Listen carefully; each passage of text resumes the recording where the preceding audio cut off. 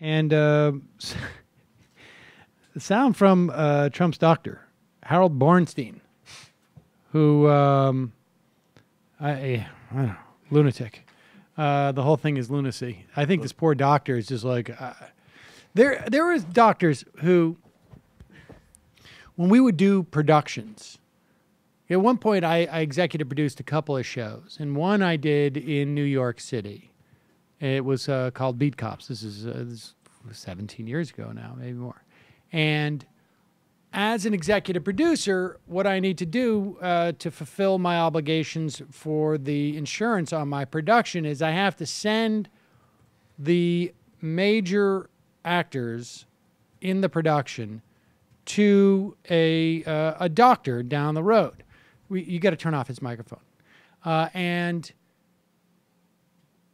so we went. We sent them to a doctor uh, to get a physical, and literally, and I went as an actor too, and literally, it was just a guy. That's all he did. It's just like, hey, how you doing?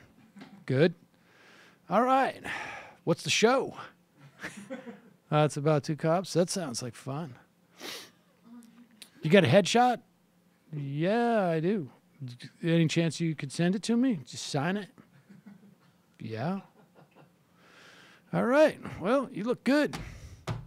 Thanks for coming by. and that was it. And they would just sign off. And I have a feeling that Trump's doctor, I don't know, maybe he's a very good doctor, but I have a feeling that the nature of the relationship was very similar to that. In fact, let's play Trump's doctor, Harold Bornstein, responding to NBC News questions about his wording of his letter of Trump's health. Because you remember, the wording was like, this guy's the most awesomest, healthiest person I've ever seen. You know, it's a little bit over the top uh, and not, not what would you call a clinical representation of someone's health. He has no history of ever using alcohol or tobacco products. If elected, Mr. Trump, I can say unequivocally, will be the healthiest individual ever elected to the presidency. Dr. Bornstein, uh, phrases like astonishingly, astonishingly excellent seem a little bit over the top to some people. What do you think about that? Is that the way that you write most of your medical letters?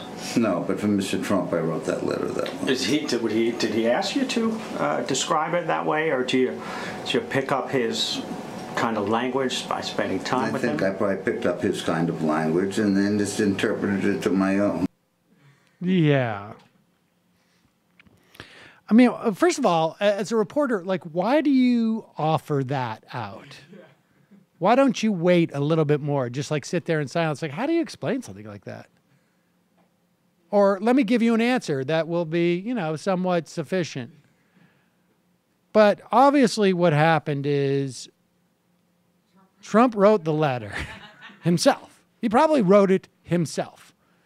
And either signed the guy's name or gave it to him to sign. And the guy now is just sort of like, he, I, I mean, it, there's no doubt in my mind, like the, the, the level of sort of intensity on this campaign was like, Trump's like, hey, um, Harold, I need a letter. It's fine, right? It's, I'll sign it, whatever you want.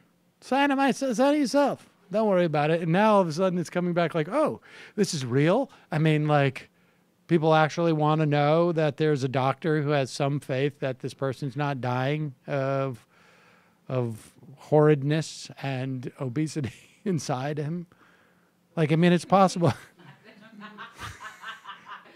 I mean, Donald Trump could be just decaying from the inside, and we would have no way of knowing. He'd be the oldest president elect, is that right? Yes, that's right. And the healthiest. And and when they went in further, like, do you really think he's the healthiest? Well, I mean, uh, Roosevelt had polio. Uh, he went on just like listing off all these presidents. Like, who was it that he said? Like, Taft had some type of amoeba eating his brain. Uh, it, was, it was pretty impressive. Uh, but there you go. All right, folks. Uh, only the best people. That's oh, Donald Trump only gets the best people. Gonna be so much best people. You're gonna be sick of it. We're gonna take a quick break. Hello, you. I'm Sam Seder. Looking for smart progressive talk that is occasionally amusing? Well, subscribe to our YouTube feed, subscribe to our podcast, like us on Facebook, and just generally enjoy us.